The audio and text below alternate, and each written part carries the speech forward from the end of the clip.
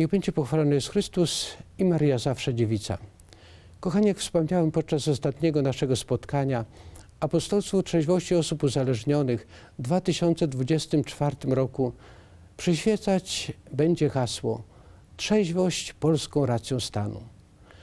Oczywisty jest bowiem związek między realizacją tej wartości w życiu indywidualnym i społecznym, a pomyślnym rozwojem naszej ojczyzny. Oczywisty jest też związek między praktykowaniem cnoty trzeźwości, a prawdziwą wolnością zakorzenioną w Chrystusowej Ewangelii. Mamy świadomość, że istnieją słowa klucze, które jeśli są dobrze rozumiane, otwierają drzwi do dobrych czynów, do wartościowych inicjatyw społecznych czy politycznych. Bądź odwrotnie, jeśli są źle pojmowane, stają się początkiem działań szkodliwych, niszczących człowieka i całe społeczeństwo. Takim ważnym słowem jest wolność. W tym przypadku jakże często spotykamy się ze złym, czasami wręcz karykaturalnym pojmowaniem wolności. Ma to wpływ na różne dziedziny naszego życia. Źle się dzieje, jeśli w narodzie panuje przekonanie, że wolność oznacza robienie tego, na co ma się ochotę. Źle się dzieje, jeśli osoby, które pełnią ważne funkcje społeczne i polityczne, niewłaściwie rozumieją wolność i źle jej używają.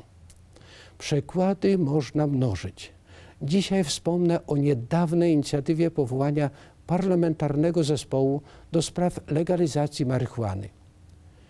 Inicjator powiedział: Jesteśmy wolnościowcami i uważamy, że każdy dorosły człowiek co do zasady może robić wszystko, nawet sobie szkodząc, dopóki nie narusza wolności drugiego człowieka.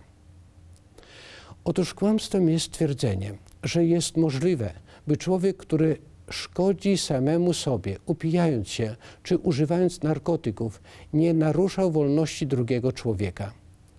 Dobrze o tym wiedzą bliscy takich osób, którzy ponoszą tragiczne konsekwencje rzekomej wolności upijających się, narkotyzujących się czy w jakikolwiek inny sposób szkodzących swojemu zdrowiu fizycznemu, psychicznemu i duchowemu.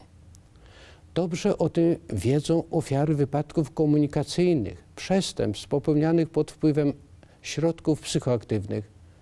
Dobrze o tym wiedzą eksperci, którzy szacują straty społeczno-ekonomiczne spowodowane przez nałogi obywateli. Dobrze o tym wiedzą duszpasterze, którzy tak często są proszeni o pomoc w wyjściu z różnych nałogów. Święty Jan Paweł II wielokrotnie podkreślał, że narkomania jest plagą niezwykle groźną. Wielu ludzi młodych i dorosłych zmarło na skutek zażywania narkotyków i wielu jeszcze umrze w przyszłości. Inni natomiast utracili część swojej osobowości i swoich zdolności. Przypomniał też, że walka z plagą narkomanii jest sprawą wszystkich ludzi – wymaga, by każdy wywiązał się z obowiązków, jakie na nim spoczywają. Warto przytoczyć refleksję księdza redaktora Henryka Zielińskiego, który nawiązując do nauczania świętego Jana Pawła II, zadał kiedyś ważne pytanie. Co dzisiaj jako Polacy musimy zrobić, aby wywiązać się z obowiązku troski o wolność, która jest nam dana i zadana? Odpowiedział tak – Najpierw trzeba zadbać o, o swoją wewnętrzną wolność. Wolny naród składa się bowiem z wolnych ludzi. Naród zniewolony nałogami i wewnętrzną słabością łatwy jest także do politycznego zniewolenia. Rozumiał to car, który przed powstaniem styczniowym zaniepokoił się, że w Warszawie gwałtownie spadło spożycie alkoholu, bo to znaczyło, że Polacy niebawem podniosą głowy. Rozumieli to komuniści, którzy rozpijali i demoralizowali naród, dążąc do przekształcenia go w bezwładną masę. Z tego trzeba wyciągnąć wnioski, bo odrodzenie narodu zaczyna się od jego odnowy moralnej. I my, kochani, musimy najpierw zatroszczyć się o swoją wewnętrzną wolność. Musimy pielęgnować w codziennym życiu cnotę trzeźwości. Konieczne jest także odważne reagowanie na wszelkie kłamstwa na temat wolności, na próby oderwania jej od prawdy, od zasad moralnych.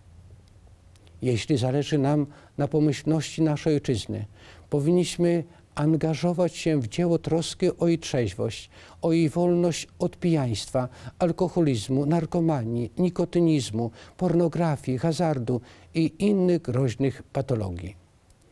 Jest to bowiem troska o wolność Polski, o jej niepodległość. Trzeźwość jest polską racją stanu. Nie może być naszej zgody na promowanie nałogów, zwłaszcza w przestrzeni publicznej. Sumiennie i odważnie wywiążmy się z obowiązków, jakie na nas spoczywają. Szczęść Boże.